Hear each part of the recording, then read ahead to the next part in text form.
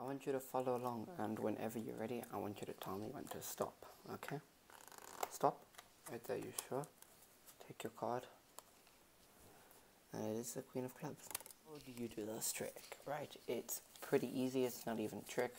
It sets up the trick, right? Because you could say tell me to stop.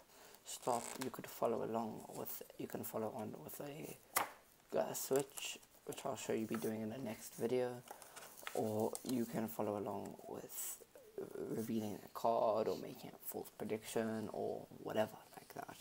Okay, it's like the setups of the trick. Okay, now it's it's a really quick setup. I love this method. Um, and all it is really is you, you go to, like before you start a trick, open up to, and you can listen in front of them, they don't even realize. open up to a place, you look at the top card. You drop that top card onto the bottom half of the deck. Okay? Then what after you do that is you drop a pinky onto the corner of the cards. Okay? And then what you do is you drop the rest of the cards on top and you straighten out. Then you got that pinky hold there. Am I correct? Okay. Now you've got that pinky hold. Okay. Tell me when to stop.